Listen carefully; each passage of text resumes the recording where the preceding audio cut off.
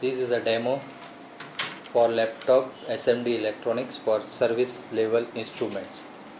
This is an Max micro iron, small one.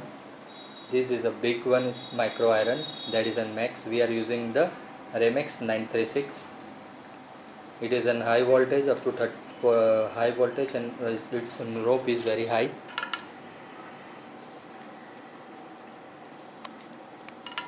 Another we are using a soldron for big components. These its points.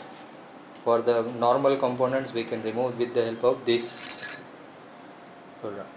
Another we are using the brush, screwdriver, tweezers. These are the electronic uh, SMD components, removing instruments, cleaning. Another we are using different type of multimeters. One is an analog multimeters. This is an SMD tweezers. We can check the value with the help of these tweezers also. This is digital multimeter and this is analog multimeter.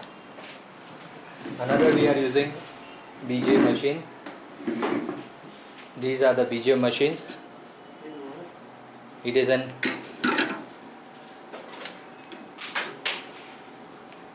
uh, we, to remove the ICs we will use this machine. To remove the component from the SMD components we can use these BJ machines. These are the plugs. We have to apply the plugs before removing any component or inserting components. This is a solder wire, big one. This is a jumper wire. To make any jumper we will use the jumper wire. This is desoldering pump. To remove the solder from the motherboard we will use this desolder pump and this is a desolder wick to pull out the solder from the board we will use. We will show the demo how to use all those components. This is a normal component. This is a magnifier lamp.